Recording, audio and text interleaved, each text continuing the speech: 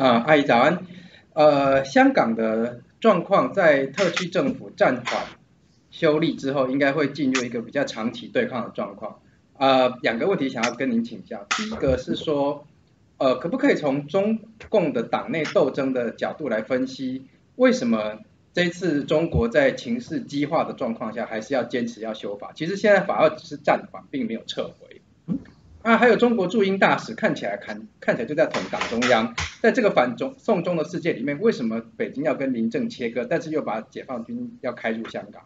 我自己的想法是这样，林郑他再怎么说他也是一个英国人，那搞得他大不了两手一摊跑去英国养老去了，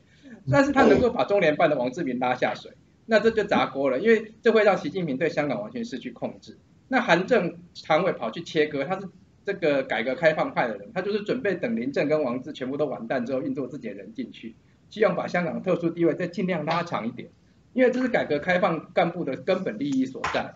呃，但习近平也不是省油灯，我猜解解放军是他说要进去的，他在警告白区党跟两面人说不要轻举妄动哦，其实我搞砸了，下一回合的主控权还是我在这边，所以我想听听看您对这样子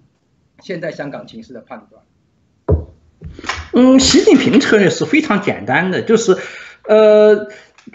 这只要确保自己不吃亏就行了。呃，就是只要什么呃事情由你去办，如果办成了以后好处归我，如果办不成的话，我的班底是不受损失的。他只要稳住自己办就行了。他这个策略是万无一失，因为怎么损失也损不到他头上来，任何损失都会只会导在导致他自己在党内的盘子内呃所占的比例进一步增大。呃，但是他也不需要去管白区党的事情。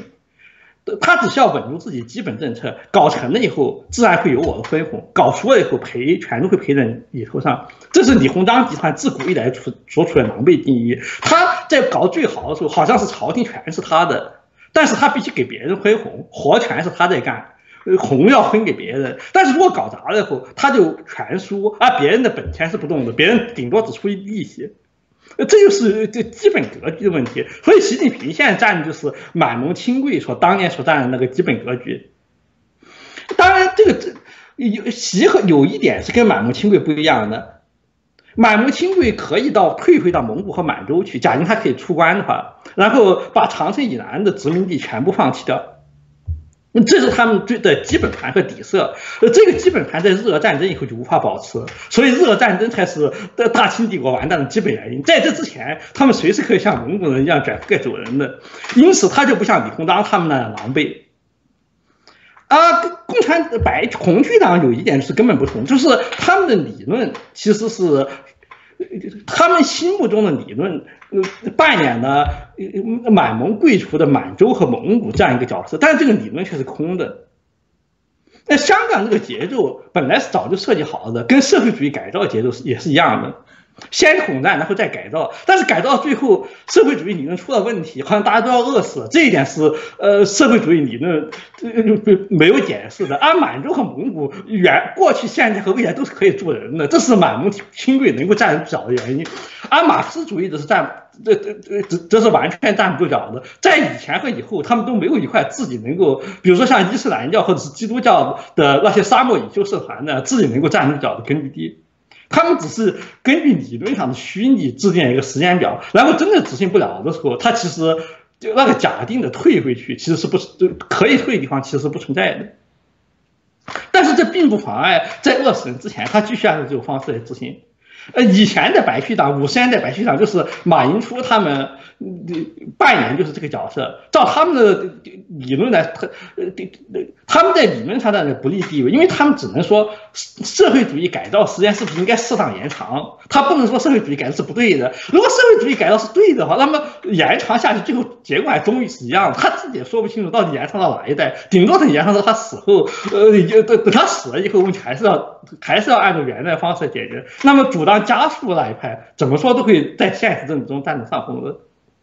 习近平的基本盘显然就是这样，他先去访问俄罗斯和朝鲜，就表明他的基本盘是在哪一边。他并不在乎你们这些人全都死光，他的政策是以不败不变应万变。如果你们搞成了，嗯，多搞几个月还是几年，呃，多到呃到手的资源肯定会流入，有至少有一部分流入我手里面，但是我并不为此承担责任。我说的都是一些大而空的话。可以随时解释的。我在不放弃权利的情况之下，并不承担任何责任。如果搞砸的话是你的错，呃，让游客下去或者让其他什么人下去那就行了。如果你立刻就搞砸了，呃，那你自己就去立刻饿死好了。呃，我我手里面存量还相当多的，先饿死你，在短期内好像。嗯，不但我没有损失，而且因为敌对派系的饿死，而我在我自己的派系所占比例极大的增加了。就像蒋介石在抗战以后，中央军势力急剧扩张了呀。抗战不发生的话，其他各派系势力他也打不倒，所以短期利益是会是非常强大的诱惑，而长期的损失，长期损失又不一定会发生。这长期损失不一定会发生，而且长期的我也不一定会活着。呃，而且即使真的发生了。呃，我总有办法把它转嫁到比较外围的人头上来。例如，即使国民党全部输光了，蒋经国不是当上国民党主席了吗？即使百分之九十九的国民党人全都家破人亡了，但是毫无疑问，蒋家是占了便宜。国蒋介石如果留在南京的话，蒋蒋经国怎么能够争那个孙个孙科或者是李宗仁呢？呃，好，啊，习近平也处在这样状态。越是接近他核心的团队，越能通过。党国同心圆结构外围的倒霉而获利，就像是袁克定当年很愿意把袁世凯捧上火坑，因为他是唯一的受益者，段祺瑞、冯国璋他们都会吃亏，而他们地下的血汗功劳反而会因此吃亏，而袁克定一点功劳都没有，好像就因为捧他爸爸当上皇帝，什么都到时候什么都是他的。袁世凯集团的内部权力结构也是利益和收益不平衡的。同心圆的权力结构演化起来都是这样的，但是即使你明知如此，也没有办法。你所能选择唯一办法就是冯国璋当时所说的事情：我可以私通蔡锷，搞一场云南起义，把袁世凯集团搞垮。如果你做不到这一点的话，那你怎么都要输的。好吧，习近平就是在赌你做不到这一点。呃，汪洋会不会搞广东独立呢？或者他会不会去说是港独分子搞独立，然后他让港独分子做蔡锷，呃，他自己做冯国璋呢？如果做不出来的话，那么汪洋是一定要说的。以此类推，改改革开放开干部都是一定要说的。习近平的基本根本弱点在于另一方面，就是在于更基层的未来的张献忠那个层次。鉴于朝廷和江湖社会的差官衙役之间那个层次，就是最基层的，直接跟江湖社会打交道的，呃呃，党政干部那个层次，这些人看到世界是，呃，党的政策不断的变化，今天播上甘岭，明天又播黄河决裂了。你如果认真执行党的政策，而对自己没有好处的话，党的政策一转的话，对你最起码是没有任何好处。相反，你如果什么政策都不执行，或者是利用这个政策，呃，挂羊头卖狗肉，经营自己的只有私利、只有利益、没有原则的无原则小团体哈，即使政策变化了，你被侵犯的可能性仍然是很小的。所以，制造既成事实的人永远占便宜，坚持原则的人永远吃亏。无论你坚持原则是什么原则，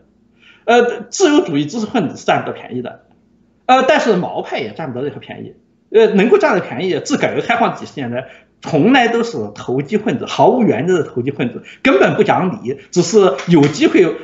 呃，今天抓一点，你不能对他说这样抓，你明天会吃亏，对他说没有明天，而且他在短时间内看到是正确的，他占了便宜，便宜被他消费掉了，明天。东油赵赵子阳同志名叫做油水快流，水已经流掉了，明天你侵犯他也没有，他也没有什么东西可以拿出来，这是什么心理啊？这是一个典型的无产阶级心理，无产阶级干部特别容易这么干。在以前大清帝国在的时候，无产阶级和士大夫阶级是泾渭分明的，士大夫阶级再穷一个范进当一个县太爷。他是有未来的，理论上他可以当宰相。无产阶级当衙役，衙役可能比县太爷穷的要富裕的多，但是他永远在本县在当衙役，他绝不绝没有什么升迁希望。他眼前捞好是他唯一好处。君子和小人，这是一个阶级概念。君子士大夫也，小人无产阶级，呃，基层政权是君子和小人的联合政权。呃，君子如果很马基雅维利，很能干，像明哲徐那样，他就可以制住这些小人；如果他像范进一样呆呆，他会让那些小人玩玩弄于股掌之上，自己像个傻瓜一样。他做那些剩下说屁用也没有。真正能管用，是他在江湖经验中间磨练出来的一套马基雅维利手段。好吧，共产党打倒了士大夫阶级，于是整个政权无产阶级化了，于是大家都是衙役了。呃，衙役逻辑必然就是这样，即使呃我我明天就被清洗，今天我占了便宜，实实在在的。就算你说对了，你今天没有占便宜，明天我被清洗了，你也只不过得到一个空洞的满足。看见我倒霉，你说哈哈哈，你终于倒霉了，但是你还是没有占便宜。何况我明天我不一定倒霉呢。所以逻辑变成这个样子了，这样一来就导致政权的基石完全瓦解，官吏和人民基本流氓化，这一点相当重要。就是说，第一，它不会形成任何袁世凯级别的派系集团，只有这样的派系集团才是值得打击的。底下几个小吏自己捞了一些江湖意义上的好处。拉帮结派，把自己三心六气去做了一些你敢想的小官，或者是跟搞一些西门庆式的企业打砸抢了一阵子，捞了些黑钱，对政权或或者是任何政治路线有威胁吗？好像并没有威胁。他们在不断像蘑菇一样长大，但是他们的存在会是你把你搞不起供销社的，供销社的资源必然会把他们被他们拿去吮食肥己，结果形成的是无数像蘑菇一样生长的小黑社会。而且习近平，习近平路线的背后保障，它是有最后保障的。任何政权都有最后保障，像是任何路线都有最后保障，就像是银行里面最后存的那一笔黄金一样，它最后保障就是实行计划经济，实在不行呢，恢恢复延安。但是由于这些小利的存在，同时从根本上呢，由于他自己派系斗争路线，他不能雷厉风行，直截了当杀几个人，脑子就是不去驾驭。他不断的转来转去，让这广大的基层小那些看 CCTV 电影频道的普通小干部都觉得妈的也不过就是这么一回事。呃，因此，等到他真的需要退回计划经济的时候，依靠军事配给制管制的时候，他这个体系整个就不灵，这个体系运作不了。这就好像你在爬梯子的时候，爬到最后一级，一脚踏空，地上掉下来一样。你说指望了最后一招用不起来。因此，你其实是冒不起风险的。但是你实际上采取了一种你必须冒这个风险的路线，就是说，习近平其实跟袁世凯一样，他是冒不起风险的。袁世凯，你看，如果一脚踏空，中美脱空了，他们就掉进太平洋了。习近平呢，他认为他像满洲人一样可以出关，但是实际上他像是日俄战争以后的满洲人一样，日本人已经坐在沈阳，他哪去了？但是这点他自己没有意识到，因为小小的张献忠们是不会像袁世凯那样目标明显的，他们只是自己给自己经营了一波。这些事情从打黑除恶效果上你就可以看出来，打黑除恶会打到幼儿园上面去，呃，名校幼儿义愤填膺，但是根本不是个义愤填膺的问题。照习近平的意思，列宁主义是什么呢？打黑除恶就是要除掉基层的土张献忠。然后将来搞列宁化的情况之下，你才能够畅通无阻。但是打黑除恶是按名额的，百分之五的右派分子，各地方摊派一个名额。然后本地的公安局长想了下，本地的黑帮大佬其实都是我的兄弟，我如果把名额用到他们头上去，对我并没有好处。或者是我跟他们打一架的话，我自己手下元气大伤，呃，捞到的好处又不归我。妈的，你不过就是要百分之五嘛。比如说本县的百分之五是一千二百人。我给你刨一千二百人出来不就得了吗？满满洲帝国最腐败、最没落的时候，慈禧太后那时候，就是荷兰伟大的驻马店就出来一项这样案子，呃，朝廷命令当地官府抓一个江洋大盗，当然江洋大盗是有些黑关系，抓到了以后，他当然不愿意死，他跟当地宦官、当地的县官和他的左右幕僚做了一些工作，似乎。当地县官其实是属于犯罪案的复读虫，他只是被蒙蔽了，但是效果是完全一样的。他作为一个师爷衙役之类操作了一下，到本地最穷的贫下中农家里面去找了一个傻瓜，智力不健全，说话说不利落的傻瓜，说，呃，这个加拿大盗姓福，说此人就是福提安，就是该加拿大的名字，然后把真的福提安放进去，把这个假福提安抓进监狱，然后给他家属一笔钱外加一笔恐吓，于是。他们就准备这样执行了，但是呃，不知出于什么乱七八糟的原因，呃，基层工作没有做好吧？该假福田，他们很可能是基层办事人员办事不力，呃，在监狱里面供着个无产阶级好吃好喝，他还以为是呃，他终于在大户人家有了一块用用人的工作，可以一直干下去。然后突然有一天，本来打算继续好吃好喝的，突然被绑赴刑场了。然后他觉得，即使他是一个很傻的人，也觉得事情有点不对劲，于是。他在押送刑场的行车经过一个土地庙的时候，他突然大对着土地庙大喊冤枉，而押送行车的人呢，恰好是外县调来一个秀才，而该秀才不属于该本地的阴谋集团，只是临时借调一下，他顿时士大夫阶级良心发作，觉得这是有问题，他要求立刻停止行刑，向上级报告。于是，呃，整个经过这样一番折腾，整个阴谋就败露出来了。呃，打黑之所以打到幼儿园，显然就是出于同样的原因。我们用幼儿园那些没有背景的小孩子填这个名额，呃，岂不是比打那些现实存在的黑社会要好得多？呃，当然，像像这样的公安局长，居然没有受到惩罚，那你就可以预见到列列宁化是不会成功的。如果实行公交设设或者是配给粮票的话，那么当地的几个关系头目肯定会把这些粮票领到粮食。自己留下来卖给他们自己的关系户，然后那几家西门庆饭店就变成当地唯一能够卖得出平价米饭的饭店了。啊，其他没有这黑关系饭店，你不但卖不出平价米饭，你自己还要额额外被敲诈勒索交保护费。而理论上，应该广大只要是中党爱国的贫下中农，应该是一人一块配给粮的，他们一一分钱的平价米都吃不到。呃，只能够去吃那些交了保护费以后卖的高价米饭店，因此他们会大批饿死。按照党国国家纪委的英明计算，我们现在的存粮足够广大贫下中农吃好吃上土豆馒头，但是吃不上肉，因此我们是稳如泰山的。但是到了基层，结果是大多数贫下中农根本吃不到配给土豆，配给土豆全给西门庆，于是立刻就会出现黄涛、张献忠那种局面，然后不负责任的。公安局长和他的黑社会同伙们，他们会首先在能够 hold 住的时候，他们根本不向上级报告。本县治安一片形势一片大好，如果形势不一片大好，而别人都说形势一片大好，那显然是你的政绩不不好，政绩不好显然是你自己的错，凭什么呀？呃，治安不好可能是前任留下来的，我为什么要替他背锅？所以无论如何，安利为我一定说，治安形势一片大好。如果有人说形势不好，我可以名正言顺用维稳机制去镇压他呀。这肯定是西方帝国主义派搞破坏的，污蔑我们社会主义的。OK，呃，维稳对我很有好处，就 是本来应该由我负责任，不，现在全都可以赖出去了。很好，等到有一天 hold 不住了，那么肯定是张献忠他已经将军做大了，不可能 hold 得住手。那么你就要掂量一下，这时候我终于上台有没有好处？也可能在上届援兵还没有到来以前，我已经被张献忠做掉了。就在薄熙来时代。重庆境外那些就法院院长都被当地黑社会割掉了睾丸，那还是在薄熙来严打的时候呢。这当然也是费拉社会一个特征了。薄熙来手下其实只有二百多人，他从大连带来的二百多人，本地干部并不是他手中的人。他想在本地像毛泽东在延安一样折腾一下子，结果等他真的出了事情的时候，呃，调人也是没有人调住。但是二百多人把本地的干部和许多。按说有千万资产的大批资本家捉起来吊打，呃，把他们资产清掉。那些千万资产资本家干什么去了？那千万资产中间拿出一小部分到缅甸的黑社会那里去雇几个部落兵下来，就就足以把王立军王副市长手下的几个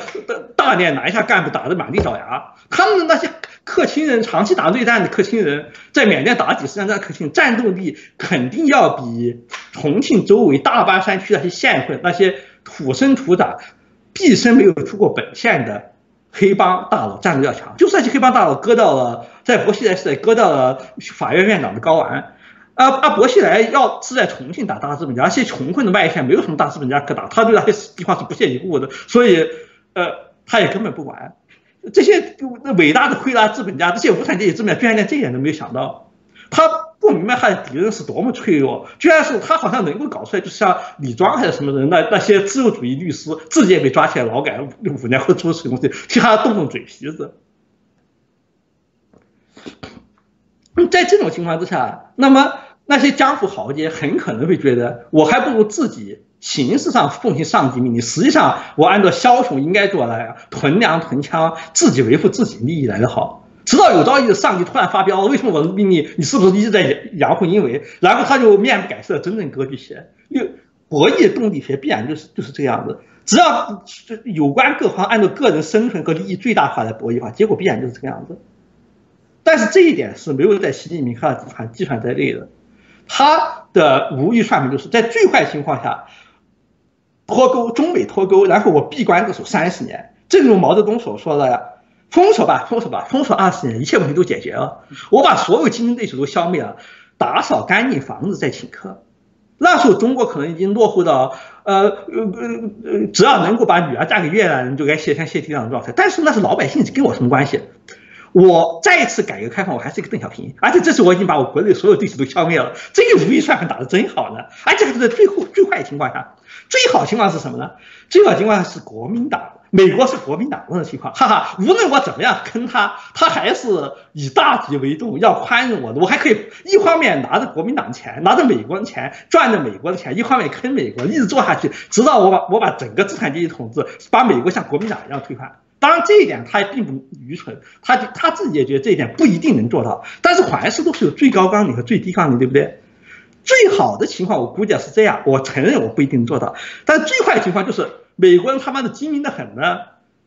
但是美国人吃饱了撑的才会去治理黄土高原啊！黄土高原三亿人口，美国才三亿人口，你治理得了吗？美国人实在是花了火也不会是制裁你、封锁你，封锁你对广大的温和派中国人来说，那你是死定了。广大改革开放干部，你要呃只剩下半口气了。啊，即使我的忠诚走狗，你也要吃着评价。土豆，呃，勒紧裤带过一一段艰难时刻，但是至少习明哲是像蒋经国一样绝对受益的。这个主意是看待这个前途其实很不坏的。既然最好的结果是这样，最坏的结果是这样，我要不干我才是傻瓜。这里面唯一的算法错误就是，这是他自己出生的说的，他对列宁党真实改革开放以来真实的运作状态并不了解，他认为他只要整一整风。就可以恢复列宁党的工作效率，但是从现在打黑除恶的效果来看的话，呃，我敢说他根本不是一个精明强像林则徐那样的精明强干的行政官，他是一个好大喜功啊，但是办事极其粗疏，看不到细节的人。当然，整体上是形式问题，就好像八旗兵不可能在慈禧太后时代突然恢复战斗力一样，你怎么整治也没用。但是慈禧太后是一个精明的行政家。他具体的办事，他不能恢复八旗兵战斗力，但是整顿具体事项呢，他是能够整顿的好的。习近平好像不是，他既不能够逆转山东老干部固有的趋历史趋势，而且还蠢到自己连自己是谁都不知道。同时，他办事情也是大而化之，没有核心团队，没有像曾国藩那样的核心团队，自己办事也是有头没尾，总是虎头蛇尾。像雄安新城建设就是个典型。发一张大图，然后等着别人去填空，然后具体工作他完全不监督，也没有有力得力的监督人员，这种结果自然是遍地长蘑菇，必然就是这个样子。但是这并不影响他在跟袁世凯集团博弈，跟跟美国人博弈时候的策略。这个策略足以动摇中下级干部对他的信任，但是他对自己对这一点恐怕是完全不知道的。而且在他心目中十拿九稳，他认为中下级干部本来就是该当放的牺牲品的。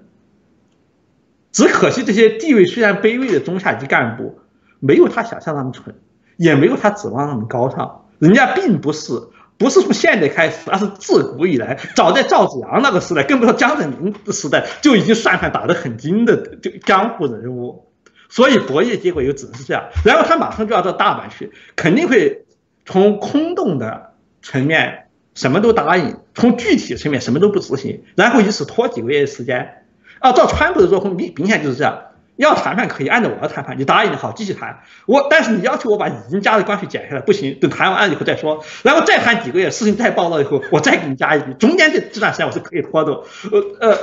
双方的策略都是如此清楚。那么倒霉的只是夹在中间的人，显然双方都不会吃亏的。川普是咬定了不吃亏的，他的谈判意思就是这样：加出的东西我绝对会给你减下来。这我们要达成条件都是按照我的条件。呃，大不了大大家打谈不成，谈不成我也不吃亏，谈成的一定要对我有利。习近平他也是这样的，谈不成我至少是不吃亏，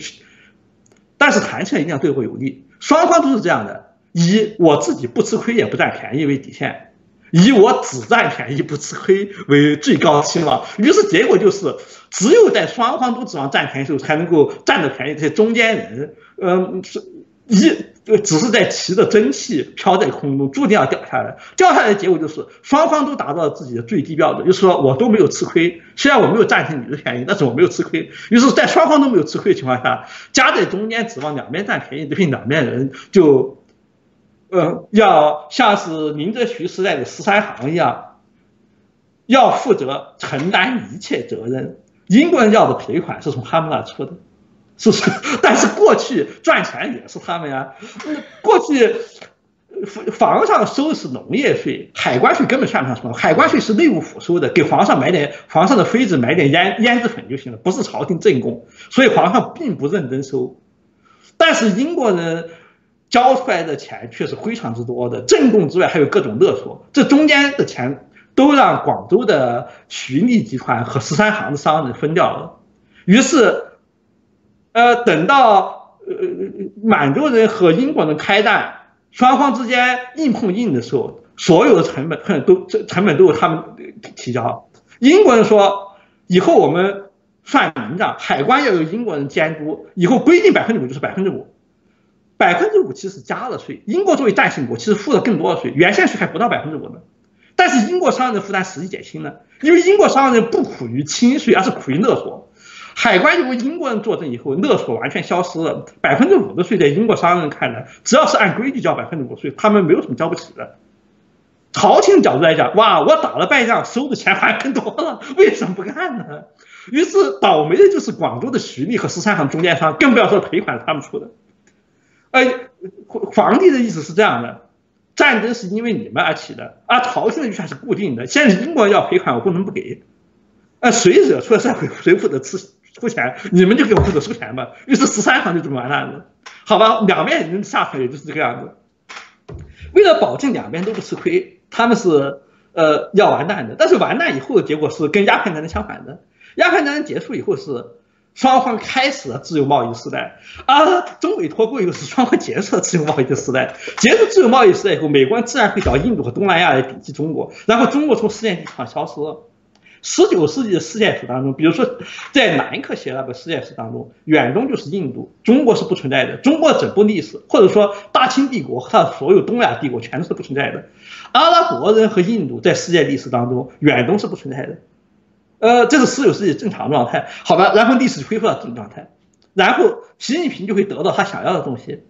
关起门来打扫卫生，把垃圾清理出去，指望着三十年以后。最好的情况下，我们自力更生是行的。嗯，广大爱国华从美国回来爱国华侨，呃，拿了我的钱的时候，是给我们能够呃自力更生，开发出像绕毅、潘建伟他们开发出什么量子通信这些东西，让我们超过美国的。最好的情况下，我们就超过美国了。最坏情况大不了像是邓小平当年，我们虽然穷得光屁股，但是我已经定于一尊了。然后我一个人出来再改革开放，给美国人打交道。当然，这两方面都出了问题。就是首先，绕毅和潘建伟他们回到中国就是来当骗子的。呃，其次就是负责执行列经列宁化政策些基层干部是完全靠不住的。所以接下来就会发生他自己控制不住的意外了。整个局面就是就是这个样子的。香港呢，在朝鲜呢，在这些游戏当中是给习近平提供这个做法，就是他们是用过来捣乱的。你如果你想要解决香港这朝鲜问题，你是不是在别的方面给我一点让步？就是说是，呃，我我拆用拆烂屋的手段来对付你，这个做法其实是我非常熟悉的，就是在一个所有编有编制人员都无法兼顾的，呃，国有企事业单位或者官僚机构里面，必然的要支持出大量的这种人。呃，小品呢，笑话呀，八十年代小品笑话经常是嘲讽这些人，他们也是朱镕基解散国企原因之一，就是有人领导带着极少数亲信的员工在干活，大多数人不干活也不捣乱，还有另外一波跟干活的数差不多的人，他不断的威胁领导要捣乱，无论你干什么，就像是蒋子龙说的写的《乔厂长上任记》，他的厂里面就有一帮专门捣乱的人，不但不干活，还要给那些干活的工人捣乱，因为厂长没有办法解雇他们。厂，而且工资是定时的，厂长连给中层的工人涨多发点奖金的权利也没有。厂长在文革以前有一种作为补偿的权利，就是说他可以把一部分工人打成反革命分子送去劳教，用这种方式可以说吧，劳教制度是失业制度的对应物，没有失业就只能用劳教，否则管理就没法进行了。但是文革一结束，大家纷纷平反，但厂长的威望也没有，于是捣乱分子清皮。当时的所谓轻工问题，就是捣乱分子问题，是社会上热议一个主要题目。他特点就是你要给我额外的好处，大家，呃，二百个人当中有一百个人不干活，五十个人干活听厂长的话，另外五十个人听我的话专门捣乱。我的意思是这样的：五十个人干活得到好处，请你分给我一半，这样我就不给你捣乱，你们就可以安安生生干活，干的活你们就有东西分。你们不是想要分东西吗？好吧，你你要分东西钱就是让我不要捣乱，让我不要捣乱，给我好处。厂长和干活人当然觉得。事情十分的不对，为什么我干的活还要贿赂你，仅仅是为了你不不捣乱呢？这时候就需要厂长有点黑社会手段了。如果有黑社会手段，我昏化瓦解，各种黑打你，让你知道给厂长作对是没有好下场的。如果厂长是范进那一种人，呃，那就完蛋了，他搞不了，他自己就搞不下去了。厂长的头衔虽然还挂着，但是厂里面毫无威望，毫无秩序，一切生产都归于停顿。当时邓小平出来整治理整顿的时候，大多数国有企事业单位都处于这种情况，因为当时文革还没有结束。乔厂长上任是文革刚刚结束的时候，文革还没有结束的时候，捣乱分子和反捣乱分子或者拆各种分子都会结成各种战斗队，以毛泽东思想不同派系的名义相互对抗。这种情况下，有效的生产是不可能的。狠狠抓生产就要强化管理，强化管理就要打击这些帮派团伙。因此，邓小平的严打，文革以后的严打也是这种背景中搞出来的。严打等于是变相恢复了一个镇压反革命分子的权利，把这种权利交给厂长或者国有企事业的干部、党委这些东西，让他们可以把捣乱的工人以流氓罪的名义送掉。当然，被严打的不仅仅是这些人，但是整治这些人是邓小平发动严打的动机之一，而且也是他不得不发动严打的动机之一。如果要维持党的统治，又要恢复生产的话，这样都是很难避免的。嗯，当然，严打并不能维持很久，而且打击的对象你可以想象，主要不是破坏生产的分子，而是厂长或者是党委书记自己的私敌。有没有破坏生产，这是国家利益问题，对厂长私人利益并无关系。而有没有得罪厂长本人，或者，当然你也可以想象，厂长绝对不像是无产阶级文学家描绘的伪光正。他打击别人的目的很可能是为了让自己更加方便捞一笔啊！他一样，只要他不捞那是不大可能的事情，所以实际上他打打倒的很可能反而是比较正直那一批啊，妨碍他自己捞一笔那一批。于是，因此这种现象是永远屡禁不绝的，不会因为严打的开始而结束。只有国有企业整个垮台才能解决这个问题，大家都失业了，这个问题也就自然解决了。呃，当然，凡是国因为国有企业特点。它不是一个，不仅仅是个企业，它是一种社区，而且它是一个充满了阶级体斗争的社区。一般的阶级结构是这样的，因为我是这样在这样环境中长的，我知道就是党委书记往往是不是一定是，但是经常是呃山东老干部，而技术人员经常是山东老干部阶级敌人，被打倒的呃国民党时代和军阀时代的资产阶级子弟的后后裔。广大大多数工人是呃呃农村招来的贫下中农，但是也有一部分老工人、核心工人是满洲国调来的技术工人。一般的阶级结构就是这个样子，他们之间的斗争经常是新仇旧恨加在一起，你根本说不清楚到底哪一种成分是这占优势，是现实利益还是历史恩怨的各种乱七八糟东西搞在一起。凡是在这种地方长大的人，习近平当然也是熟悉这种文化，就是都知道。要关键是掌握度，就是你不捣乱，做一个老实工人是不行的。做一个老实工人，领导会把你榨干。你不断的干活，但是领导看你不闹事儿，一部分利益归了领导自己，另一部分利益用来收买那些闹事分子的。你必须闹事，但是你闹事要掌握度。如果没有掌握好度的话，领导下一个狠心要杀鸡儆猴的话，办你一个流氓罪，把你送进监狱，你闹事就很白闹了。所以你必须根据像按照毛泽东的论游击战理论。敌进我退，敌疲我打，掌握分寸，事情不不妙的时候你赶紧跑，但是风头一过去了你要回来了。只有一个基本原则是你千万不能干活，在坚决不干活的情况之下，形势有利的时候，呃，你就要闹，以便让领导收买你，给你甜头。如果感觉到风向不对，又要及时收手。把握不了分寸的话，要么你是捞不到好处。要么就是捞一次好之后被领导下狠心，或者是他什么下狠心做掉了，好吧？习近平对美国采取是这种做法，因为美国没有产生流氓无产者的阶级土壤，所以他们这种做法，呃，感觉到不能理解。从他们角度上，这种搞法是游击战术搞法，是破坏自己信用呀！你什么都，一打上门，我什么都接受，然后又什么都不不履行，这不是把自己信用记录？美国人是一切按照信用记录来算的，完全做掉了吗？要是我是美。美国觉得一个精明强干的人应该是这样的：别人提出苛刻条件，我能够顶住，我绝不会像个孬种一样什么都接受的。我一定要反复的讨价还价搞出个有利的协定来。但是有利协定我一定要坚决执行，只有这样才能像川普这样飞黄腾达呀。按照这种敌人一旦气势对手气势汹汹，我就完全丧失原则，什么都答应了。这家这种人不是个好的谈判家呀，答应了就反悔，你你这一辈子就毁了。你这种人不但做不成川普，你这辈子就是你去专门领国家救济过日子吧。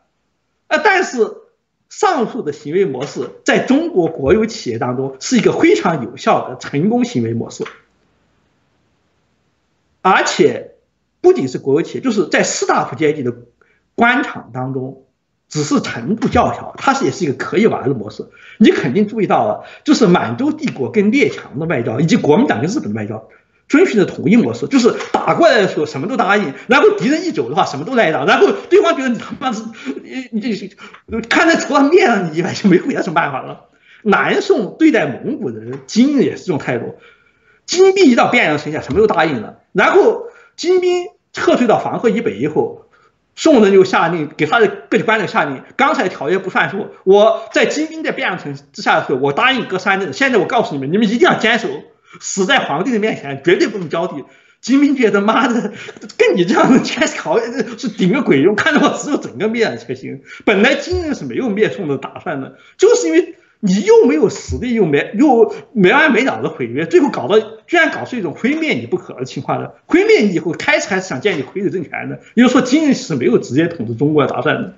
呃，这最后搞成这样，就是因为满族文化和呃士大夫文化的作风不同，导致了呃文化人类学家最喜欢说那种文化冲突的缘故。这个文化冲突把可怜的大宋朝以及大明朝、大清朝和国民党都给毁了。抗日战争其实也是因为诸如此类的折腾搞出来的。日本人说的那一句，近卫公爵说的那句，不以国民政府为谈判对象，跟四这金兵四太子不以宋钦宗为谈判对象逻辑是完全相同的。只不过日本人至少已经是一多半进了西方国际体系了，所以大家也不把它当成蛮族对待。但实际上，所有人碰上这种牛皮糖的无赖战略以后，磨到一定程度的时候，最后的反应就是：妈的，再也不跟你说打交道了。而国有企事业单位特点就是，这它是有社区性的，社区性特点就是说，你注定要跟他们打交道的。领导即使把某人送去劳教，劳教了，比如说作为流氓罪送去劳教了，他出了狱之后，他没有别的地方去，他必须回来。公安局和劳教管理机构，一个人出了狱，难道要留在这里吃我的饭让我养？那当然不可能，他他得有地方去。但是你不能让他去当盲流，到处流窜，增加治安的负担。基本原就是哪来的回哪去。他原是从哪个单位给交回原单位处理。呃呵，呃呵，呃呵。于是这样造成的结果就是对流氓无赖非常有利啊。就是特别还有这种情况，就是说反正我已经当了流氓罪了，这个帽子是摘不掉了，所有人都知道我是流氓了。那么我索性做了些别人不敢做的事情，面子环境撕破了。这种人往往会成为八十年代第一批个体户，为什么呢？因为那时候做个体户，大家根据以前经验来说，说不定会把你打成资产阶级呢。共产党说了现在要大家致富光荣，但是共产党说的话鬼才相信呢。我才不去干这种傻事儿，嗯，我先观望观望再说。啊从监狱里面放出来流氓。他没有什么可以失去，同时单位的配给土豆也没有他的份，他马上就要饿死，他必须去做，而且做了以后，他也绝不是一个资本主义的企业家，他是一个江湖流氓，他可以骚扰那些胆小怕事，让那些绕着他走，让他那些人不敢帮他发财。如果有其他人敢跟他竞争的话，他用江湖手段对付他，恐吓他，这种人特别容易变成第一批发财致富的人。这种作风在，比如说在新疆、西藏这样。计划经济残余很浓重、浓厚的地方，我相信至少在二零一零年的还存在。比如说有这样一件事情，我是在报纸上，共产党办的新疆本地报上看到的，有一个卖啤酒的商人到某县去卖啤酒，突然跑来一批人把他的啤酒给查扣，说是你应该贴贴一个标签，这个标签向我买征一笔税。他向本地的工商局长打听，工商局长说哪有这回事，从来没有这样的政策。他也打听一下，那个家伙是一个。业已破产的啤国有国国有啤酒厂的员工，呃，按照政策他早已经破产了，应该呃是下岗再就业。然后他再就业过程，他认为本厂是生产啤酒的，所有本地人都应该喝本厂的啤酒，尽管本厂已经再也不存在，再也不上市任何啤酒了。但是外地来的啤酒，如果此山是我开，此路是我栽，让从此我交够买路钱，我通过这种方式，呃，仍然可以有声誉。他就这么样干了十几年，在外来的商觉得情况不对，找到工商局以前，他就干了十几年，他就这么干事。我们要注意，就是新疆的社会是分裂的，就是外来人，一九四九年以后的国有企事业单位插入这批。我称之为红色小满洲国社会，跟当地人，无论当地是维吾尔人还是哈萨克蒙的部落民，完全隔离的。当然，穆斯林一般也不喝你你你们酿的啤酒，这批酒完全是供原先的国有企事业单位，供那些满洲国移民过来的工人喝的。然后这些企业当然也是因为上述描我描绘那种根本不符合市场经济原理的经营管理方式，注定要不断亏损，变成国家财政负担，最终垮台。然后外地的，比如说是广东或者是浙江的。私人商人比较相信私人商人，带着他们的啤酒过来卖，就发生了这样的情况。然后你要问，妈的，都过了十几年，这个准黑社会集团，那么当地的广大啤酒消费者用户居然会完全没有管过他们？答案事实上就是的，这些可爱的会拉们是谁也不会出头去为任何公共利益去说一句话的。如果你倒了台了是很好的，如果你不倒台，你继续玩下去，这干我们屁事。之所以他们是这样的人，因为他他们自己是各式各样来源的人，比如说山东老干部、满洲国的技术工人、川军的人、晋军的人和和和陶思岳的人，诸如此类，以及什么背景也没有，贫下中农，彼此谁都不信任谁的缘故，所以他们当然不可能达成任何共同行动。他们随时都想着别人可以利用任何手段来反过来整我，而得得到的好处是共同利益，所以跟我没有什么特殊关系，所以结果也就必然是这个样子。好像这样的人是基层政权非常熟悉，以及大多数我称之为农骑兵地区，就是体制内人士非常熟悉，而且即使是一个毫无背景的前国有企业工人，都可以随随便便的完成十几年不受惩罚。十几年是个非常长的时间。八十年代最初致富那些有犯罪背景、经常也会犯罪的第一批个体或万元户。到九十年代、啊一零年代，大多数都被打成黑社会头目、枪毙掉了。在中国这样一个社会，你连续富裕十几年而没有被枪毙掉，这是一个成功人士的标配。你已经是成功人士了，就算你以后被枪毙，你也不要以为现在坐在会议桌上的党委书记、董事长多么的风光，呵呵，他们像顾处军一样，像什么呢？桌桌城的。设计者云南那位红塔山的燕王一样，他们也是随时被枪毙的。八十年代那些第一批致富的，在新闻媒体上广泛宣布的人，大多数在九十年代都进了监狱。目前像任正非这种人，是二十一世纪才起来的。八十年代、九十年代改革开放初期，根本不知道他是谁，他的寿命也不会比前任人更长更久。比如在二零二五年左右的时候，他以美帝间谍的名义进了监狱，或者是他贪污腐败名义进监狱，那是完全正常的。跟他阶级地位相同的。任何董事长、任何党党委书记，一般的下场就是风光一段时间，鸡犬升天以后进了监狱。仔细算起来，就是在鸡犬升天那段时间内，他把小姨子、儿子、女儿、孙女这些人全都送到了美国那种最占便宜。因为送到美国以后，美国是不放钱的。好了，最占便宜就是这种人。按照三十年不算很长，三十年为周期的话，就是这种就这种占占便宜，能够风光十年，这已经是伟大的不得了的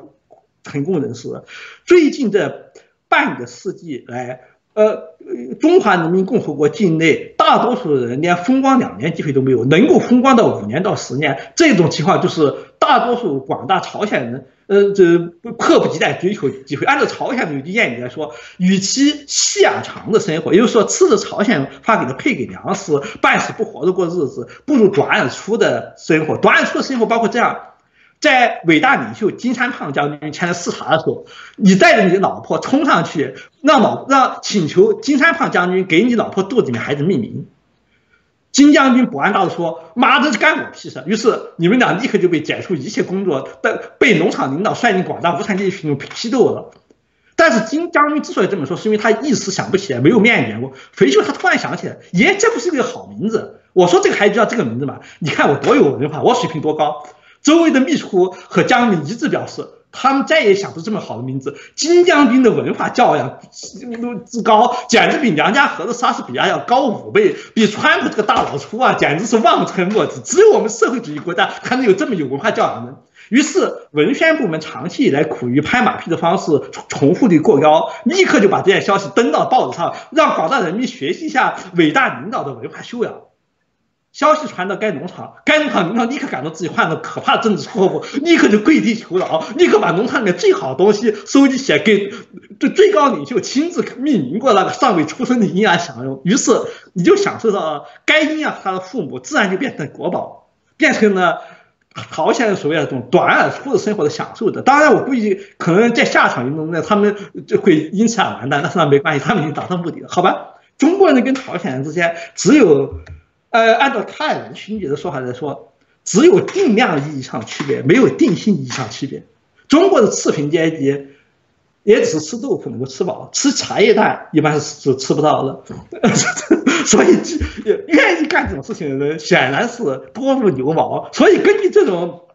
博弈模式，该发生的事情自然会一定会发生。习近平同志。正在用蒋介石用在日本人身上，宋徽宗用在金人身上，宋理宗用在蒙古人身身上，慈禧太后和道咸丰皇帝用在洋人、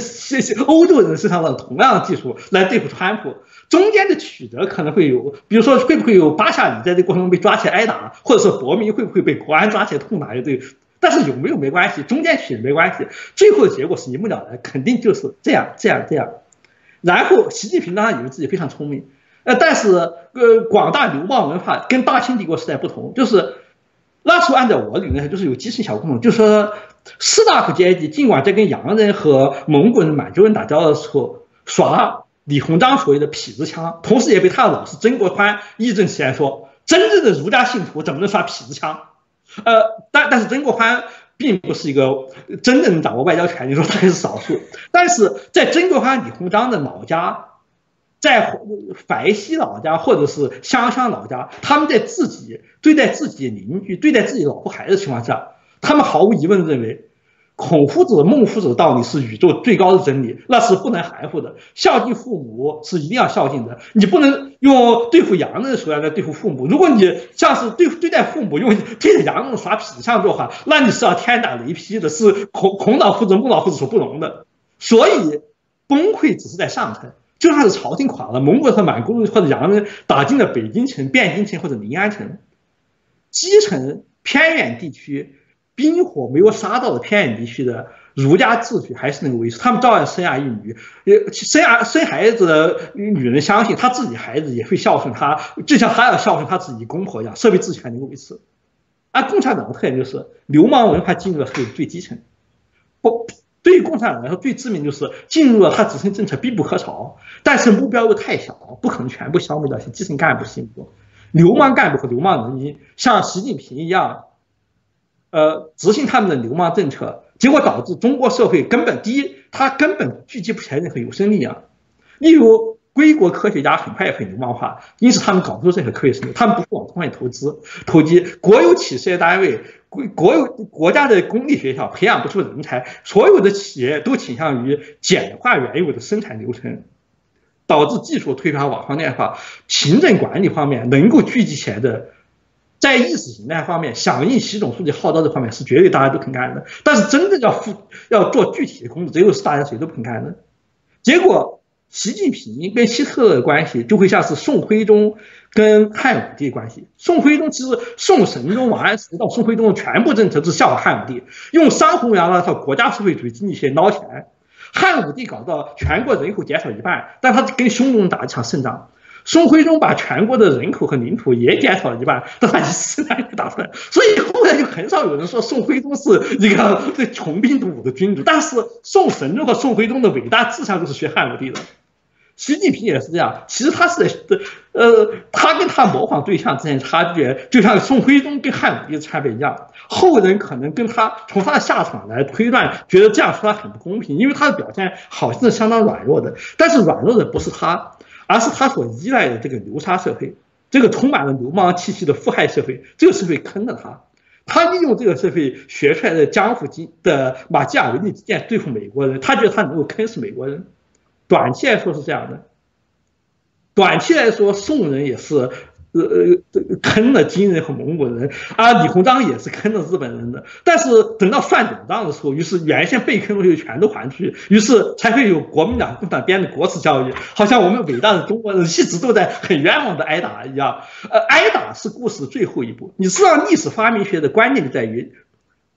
裁剪，它就是辩护律师发言一样，我怎么打别人的我不说。我只说我怎么样被别人打的。如果法官只信一面之词，当然所有中国教科书的牺牲品，所有的中小学生都是这种牺牲品。听见好像是我们很无辜呢，我们一直都在挨打呢。实际上，在法官和外人看的话，基本上是你在耍流氓，你又打不赢又要耍流氓，结果搞到最后总是自己挨打。而且从更深次看，你之所以打打不赢，就是因为你把全部资源都用在耍流氓上面了。你为什么打不赢？为什么人家又能打赢东西？社会上和技术上这两方面都是因为人家有一套严密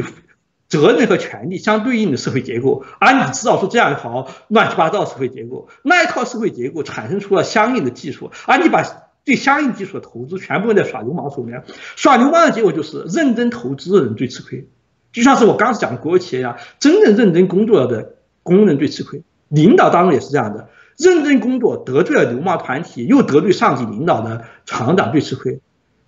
跟流氓群团体达成一定程度的妥协，跟上级领导一定程度的好处，尽可能变卖，把厂厂里面机器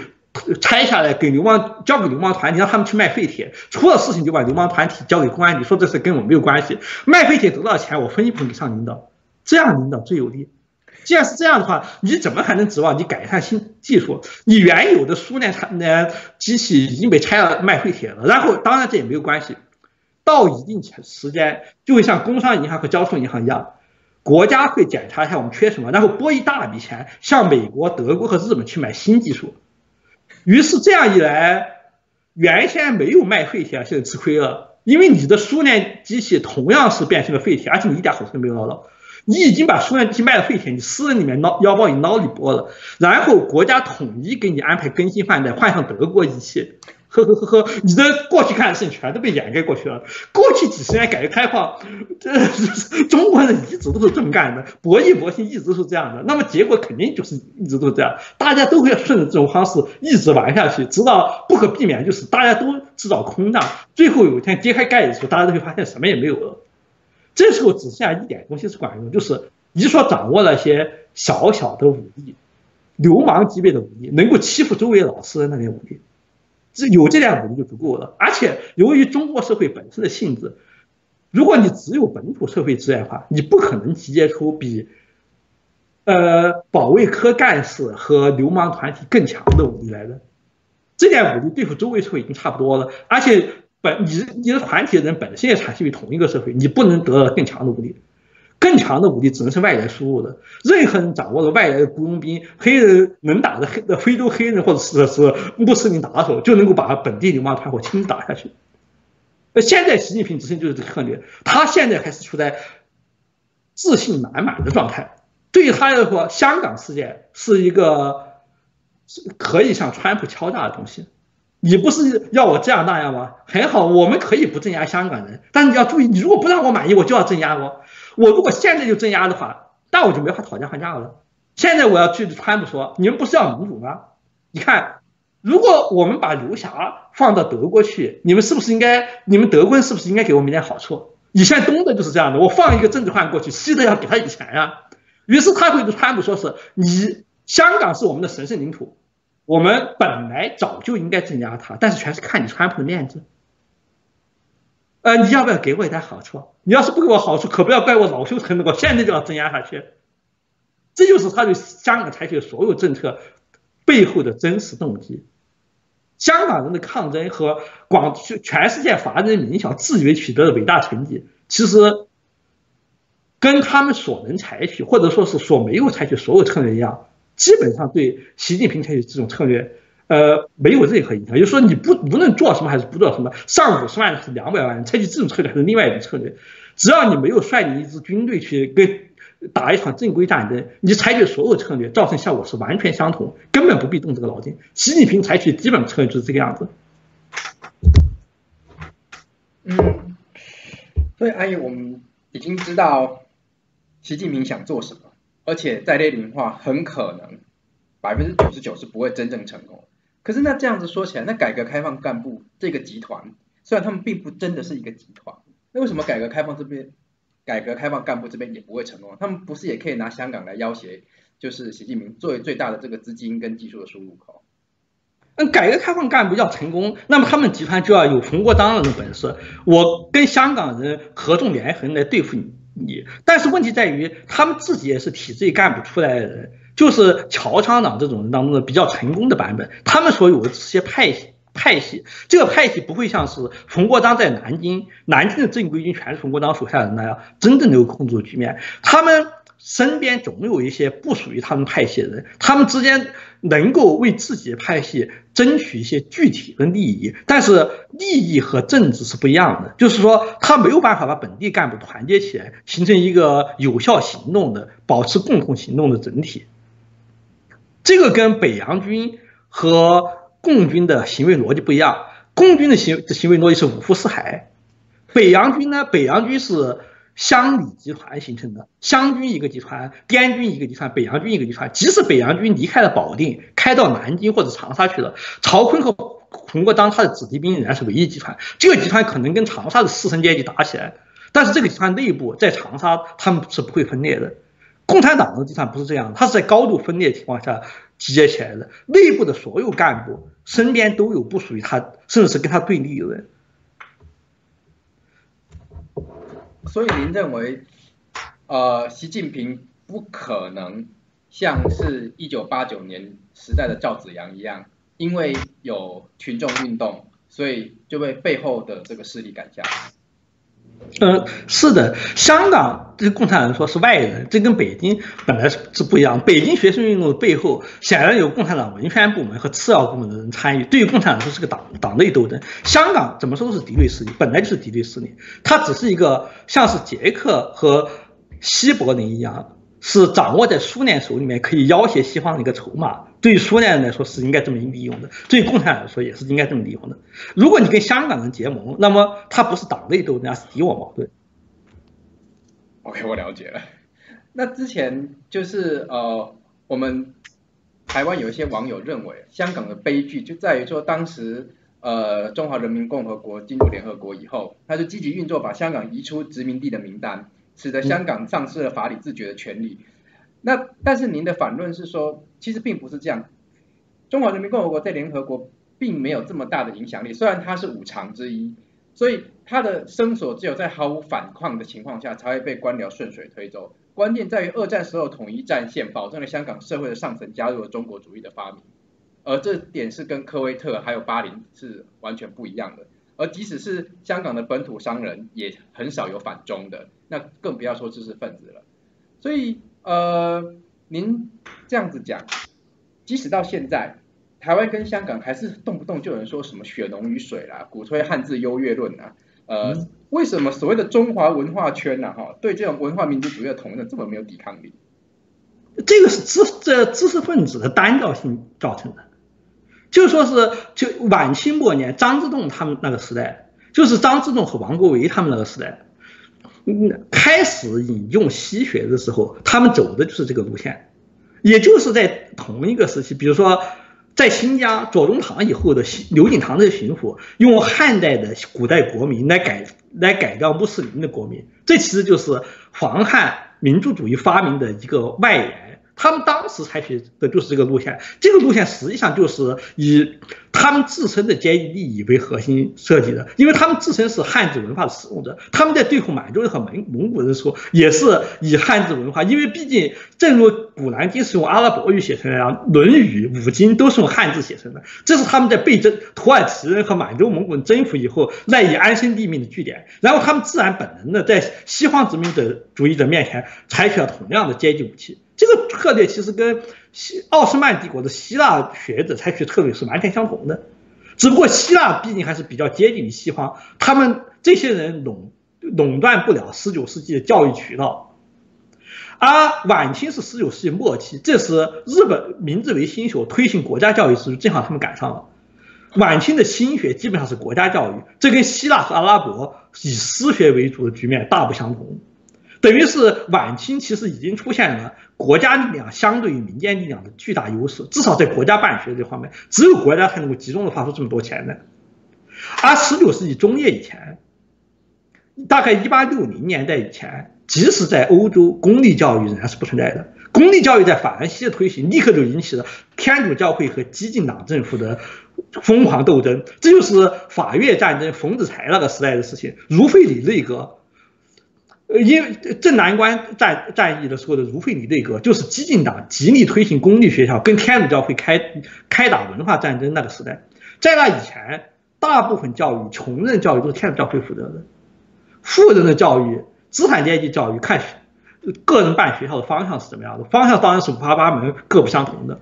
国家执行教育政策，授予了国家一个可怕的政治武器，这个政治武器跟民主国家的诞生是有直接关系的。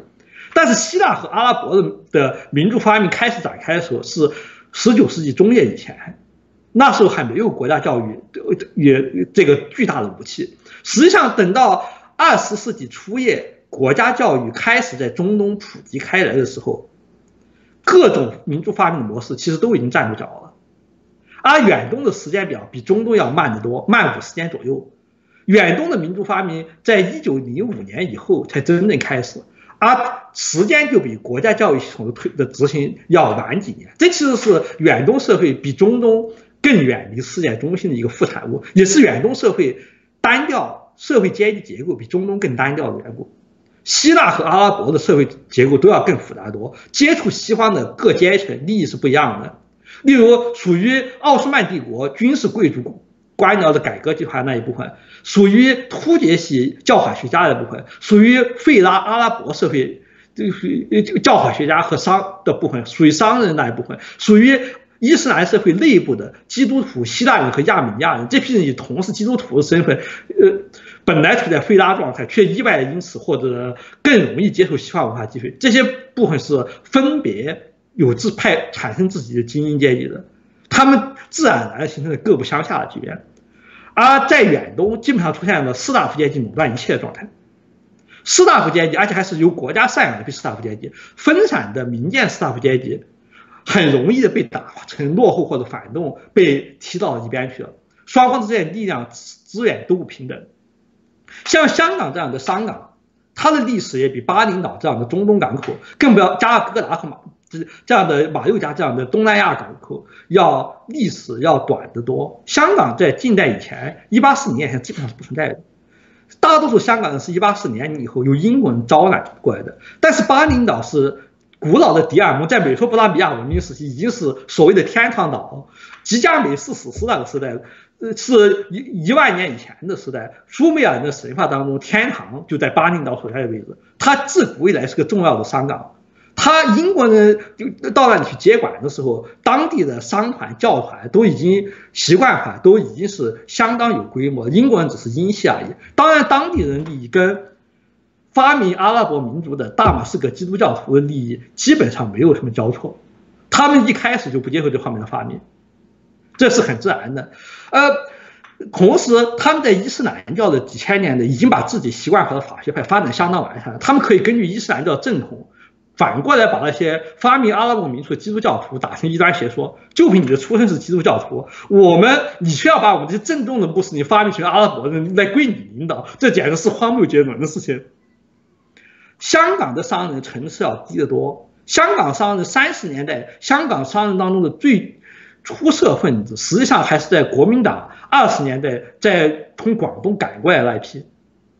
那一批人是恐惧鲍洛提和蒋介石的赤化政策才逃到香港来的，把他们在市邑和各地商会都来到香港。他们依靠英国殖民者为附服，但是他们提不出高级政治理论，他们只能简单的提保境安民这样比较低级政治理论，在体制内只能够做治安法官那一类型的人。高级的文官，当时殖英国香港殖民地的高级文官仍然是欧洲人，就是说是本地人或者是粤人，基本上没有能够胜任的。而英国的无为而治政策，使得当地的高等教育是极少的，也也是。而广州国民党在广州和南京推行党化高等教育时候，培养出来一批新型的知识分子，在至少在人数上讲要比他们多多。所以在国民党还在赤化的时候，香港和广州的对立是尖锐的，他们还能够维持自己的地盘。等到重庆政府跟香港政府联合起来对抗日本，南京和上海沦陷，大批中国知识分子理直气壮说香港是中国一部分，流亡到日本人不能染指香港人，以香港为基地大搞抗战宣传的时候，本地人的声音就基本上消失。四十年代是香港左倾势力的最高峰，左倾势力主要是由加入国民党的共产党人主持的。他们在香港活动比在桂林和重庆更加方便，而英国人的法律给了他更大的宣传自由，而本地人基本上没有知识分子，顶多是闷声大发财而已。同时，香港作为窗口，向重庆运输物资的窗口，作为一个重庆政权的出出气口，需要大批呃南洋、香港南洋贸易线的商人，而这些商人顺理成章的被香港地下党控制了。重庆政府也需要依赖他们，然后他们在国共战争以后，自然就变成了香港南洋把南洋橡胶输送给斯大林的苏联，输送给满洲的一条相应的运输孔道。这条地下铁道的产生和作为他们外围的左派知识分子的舆论，在四五十年代达到最高峰，严重的影响香港以后的民营。四五十年代。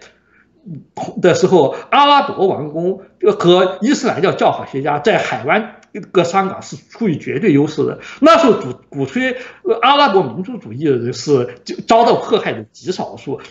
在海湾地区是基本站不住脚的。即使是在纳赛尔已经控制埃及以后，他们在海湾地区渗透也立刻激激起了伊玛目领导的保守派势力的一场内战。然后国共战争的结果是使这批中国移民。控制了香港上层发生了分裂。其实国民党本来是作为苏联外围而存在，然后在国共战争失败以后，他把自己打扮成为自由世界的前哨，于是他们的分裂导致了九龙和香港在五十年代的暴动。这次暴动给英国人和全世界以巨大一一个深刻的印象，就是香港其实是只有左右之争的，而右派的主力是国民党的逃亡者。而这个看法是也是没有错的。呃，这时是香港人口结构发生巨变的时代，因为香港当时的人口还比现在还要少，所以人口巨变的程度其实比呃九七年以后移民来的一百多万人造成人口结构更大些。而且还有一点就是不同，就是这一批移民来的人多半是上层，而九七年移民来的人还阶级地位还没有那么高，这批人占据了几乎文化界和甚至是商界的主力，因为香港。依赖中国的转口贸易，像芬比芬兰依依赖俄国的转口贸易更大。香港的繁荣实际上是中国闭关锁国的结果，否则上海和广州要分去它很多利益。现在只有香港一个通气口，而共产党因为不能失去这个通气口，也不能进攻香港，因此香港很多利益拥挤香港。这些香港人可能恨共产党，但是共产党的存在对他们经济利益确实反倒是有好处的。同时，当然在这个时期。香港的高等教育开始，甚至是比较普遍的中等教育才开开始起步，而这些教育的主持人，像一九三零年代以后的马来法语学校一样，恰好是这些流亡者组成的。这些流亡者当中。我们可以说，比如说是有一半是坚定的反共分子，但他们肯定也是从用大中华主义方式反共的，而且他们大多数是吴越的呃汉字知识分子，自身的粤语都是不通的。他们的学校，而粤语学校只有一些更基础的学校，教会学校之类的。呃，所以经过这一时期的二十年熏陶的话，六七十年那个时代，香港看上去不像是一个有本土性的地方。那时候外来香港以外的人。根本分不清楚什么是香港本土人，什么是流亡香港的中国人，而且比较出出名的人，比较出头露面的人，像金庸、倪匡这些人，很明显都是流亡者。这时候香港像是一个白华城市，它的社会基层仍然存在。例如更早流亡来的人，二十年的流亡来来那那些人，他们的社区仍然存在，但是他们子弟仍然存在，但是他们处在比较不露不动声色的状态，不大会引起外界。注意的状态，能够抢占风头的位置，基本上都是是跟他们没有什么关系，而且他们至少也是没有直接反对，或者是不觉得自己有必要去组织更加高级的政治团体。对于他们来说，英国人保持现状是有好处的，就像共产党希望英国人保持现状一样。如果说当时有人希望改变现状，那恐怕是比较亲国民党的大中华主义的，急于把香港变成反攻基地，而其他人则比较谨慎，觉得这样做会损害香港的贸易前途，最好不要轻举妄动。以及共产党企图搞暴动、赤化香港，这两批人在高比较高阶性的政治舞台上相互搏斗，所以当时的英国行政当局，因香港的现代化，包括。行公务员制度和现和行政机构现代化，实际上是一九六零年代才开始的。在这以前，香港是基本上是习惯法团体治理地方，就是英国人和欧洲人有他们自己习惯法团体，而香港整个社会的治理是处在放生状态的。香港有一八三零年以后，在欧洲兴起那种城市治理，是一九六零年以后的事情。这种城市治理产生了。我们现在所说的香港民族，能够成为香港民族人，是一九六零代年代以后城市治理，包括学校和这社区建设的产物。他们并不直接来自于，就是一九三零年代以前那批老香港人。这个也跟海湾地区不一样，海湾地区啊是商团和部落酋长，他们的历史往往可以根植到奥斯曼帝国以前的部落时代。有很多像沙巴赫家族这样的人，以及跟他作对和联盟那些伊朗商团，他们的历史比奥斯曼帝国入侵阿拉伯世界历史更长。如果换到远东的话，就是说他们实际上是大明朝的时候就已经住在香港，但是现在的香港是一九六年以后才产生出来的，他们的根基不深。他们要跟中东对比的话，他们对比的是经常被萨巴赫家族解散那个议会，产生那个议会的医生、律师那些中产阶级。这个中产阶级也是在一九六零年以后。使英美资本和石油工业产生了大城市以后，作为大城市附带产品的中产阶级服务性人员，这批人员在原有的部落结构、教团结构当中没有地位，他们没有家世背景。一九六零年以前，他们不是任何一帮武士，或者是教长，或者是世家的后裔，只能认为他们是默默无闻的平民家族的后代。他们的依据就是在现代化城市中间赢得中产阶级地位，还读了几本西洋书。他们是不断遭到萨巴赫家族和寡头政体的镇压的。香港现在的市民阶级的主体，也就是这批人，所以他们的阶级地位不能跟卡塔尔、科威特那些王室和教团相比，只能跟那些王室和教团镇压的中不断镇压的中产阶级社会相比。而且他们还遇上共产党。如果统治香港的是马来西亚的王公和和马哈蒂亚这种人，他们的处境就跟科威特那些中产阶级一样的。但是因为共产党比这马哈蒂亚要坏得多，所以他们的处境又又比这些人又更恶劣一层。这个事情，这个整个格局是由长期的，呃，历史历史积婚造成的，就像是没有任何人是平地上起来的。你的祖先对对你的发言权比你要大得多。因为华盛顿将军吧，他的家谱是很明显的，他爷爷的爸爸是英国商船的二副，该商船并不是去弗吉尼亚的，但是经过弗吉尼亚补充物资时候，他老人家下船玩了一下，他而且很有冒险精神，觉得这地方挺不错，而且还爱上了当地一个地主的女儿，于是他就跑到当地定居了，不在商船上混了。而他老人家的爸爸。是英国一个叫做劳伦塞什么地方的教区牧师，是英克伦威尔时代保王党在当地的地方干事。比如说，他们的祖先在来到美国前已经是绅士了，然后他来到美国以后，来到弗吉尼亚以后，又跟当地的大地主结婚，然后又变成本地大地主，然后在以后的战争和开荒活动中，始终是当地精英阶级。早在美国独立战、大陆会议召开以前，他们的家族已经有几百年历史了，他们不是平地起来的。有这样基础才有弗吉尼亚王朝，而没有弗吉尼亚是没有美国的。而东亚社会向的是根基极浅，就是说东亚社会真正能够吹牛皮，按照按照民族发明学的方式发明出来的家族，追溯到任何年代都有。但是真正靠得住的家族，一般来说到明朝嘉庆年间为止，就是说元末明初那一场大战扰乱了整个社会结构，以前的家谱基本上都是不可靠的。最老的家谱顶多是到到这个时代，现代中产阶级崛起的时间都很短暂。尽管他们可以把所有民主国家都说是是一样的，但是实际上民主国家是绅士、贵族绅士和资产阶级分权产物，它背后有巨大的历史积分在。而香港中产阶级整个的历史积分都非常短。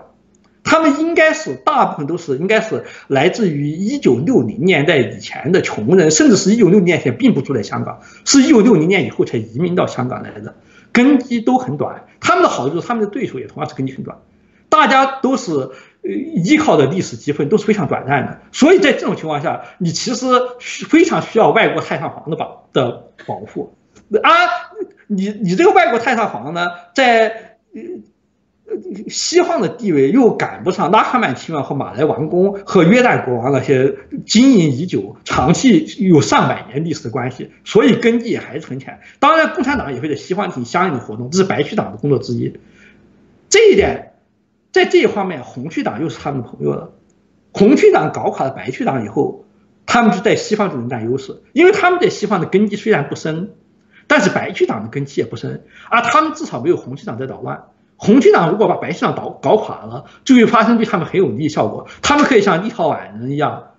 完全占据西方的主场。他们说什么就是什么。他们发明出一套历史来，那就是正版的历史。红区党搞出来一些乱七八糟的东西，几乎会没有人知道。如果白区党还在的话，那么事情就不大好办。这就是他们面对基本格局。但是要让红区党得胜，他们又跟台湾不一样。红区党得胜对台湾是有百利而无一弊的。但是红区党得胜的话，会给香港造成巨大的伤害。但是不经过这个伤害的话，香港没有办法建国。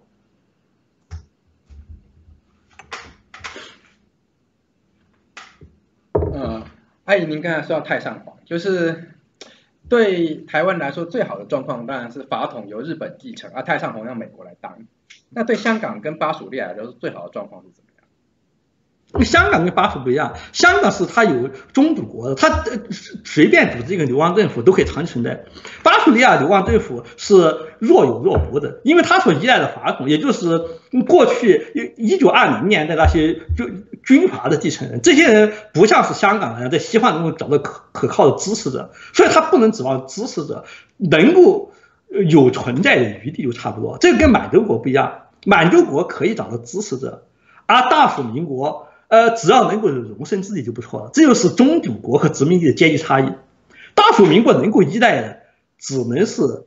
叙利亚式的军阀战争，除此之外别无依靠。唯一的好处，如果这也还能算好处的话，就是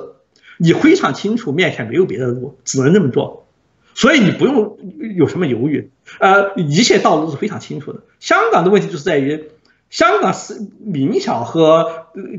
建国路线是仍然是冲突的，呃，而大规模的群众运动需要两是在两者边界模糊情况下展开的，要建国成功，还需要香港社会本身受到重大打击，使民小的路线完全绝望为止。这个路展开的过程对他们来说是利益净损失，不经过这个利益净损失，后面事情是不可能开始的。而对于大蜀民国来说，没有这个利益净损失的问题，你本来就已经输光，对不对？你在一九三五年就已经输光了，所以剩下事情无论怎么样的，呃，你都只有赚的可能性啊，没有输的可能性。OK，谢谢阿姨，那我们今天访谈到这边结束，谢谢您，下礼拜再见。